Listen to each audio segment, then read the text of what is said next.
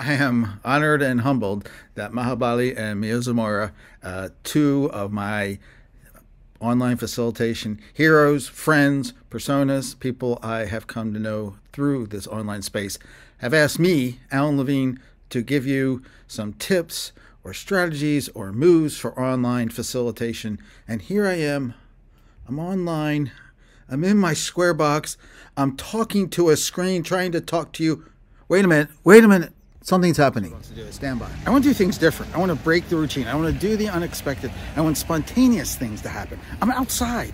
Why would be I outside to do a video? Oh, why not? Why do we have to sit in front of our screens, in front of our library books, in our offices? We're there all the time. So sometimes just the element of being different can help, not just for the audience, but for you. It does your energy something. That's what it does for me. Helps remember is how what a disembodied experience it is talking in 2D on that screen. You can't see people.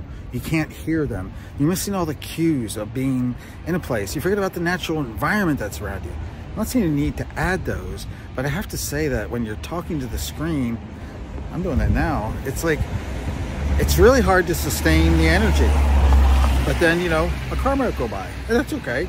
But remembering that and thinking about how you can disassemble that or disrupt that or somehow interrupt that experience where you feel so disconnected.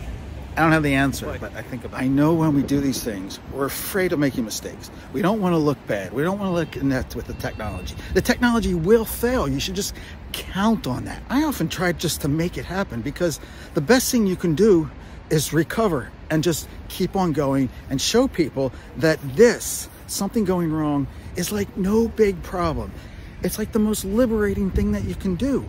You'll be saved. People will think, hey, like he's like me. She's like me. There's no problem in messing up. And actually, that shows your humanity. And that's really what I want to do when I'm doing stuff online. I think back, you know, when I started teaching, I taught alongside a colleague who just made teaching look so natural. They had a personality, they had a way of being with the students.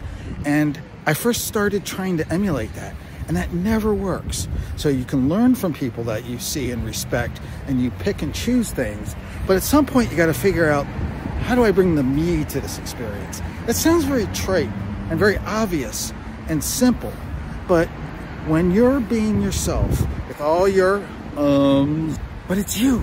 So find the way to be you. Like the more natural you can be, the better your online hey, things. How you doing? No, don't do that. But there's a real strong element to learning how to greet, to welcome in a way that's sincere and real.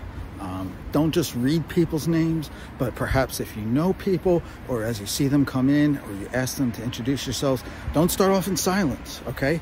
Uh, maybe put background music on. You want people to feel like they're being taken care of or that the person's not just a presenter. So you want to go from a speaker or a presenter to a facilitator. It means you're not just the person up there doing something, you're with the people. How do you do that? Well, find ways to interact with them. Okay, it's a lot to watch the chat. I just watched one with Dave Cormier.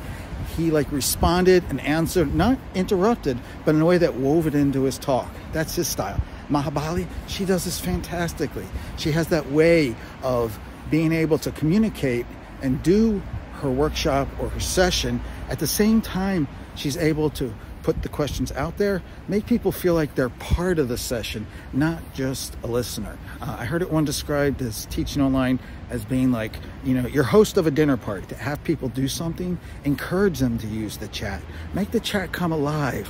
When the chat is dead when nothing's going on that even adds to that disembodied experience in my book. So I want a lot of action going on in my scenes and not all of it coming from me. I want the people there to make noise. I want them to contribute. I want them to feel like they can interrupt. Back. Here I am, back in my box. Well, I don't know if that's worth anything or valuable to you. I really hope you try some things, but just do your best and just try to make it as human and engaging uh, as you possibly can by being yourself. Want to bug me or send me some criticism? You can contact me here. Bye.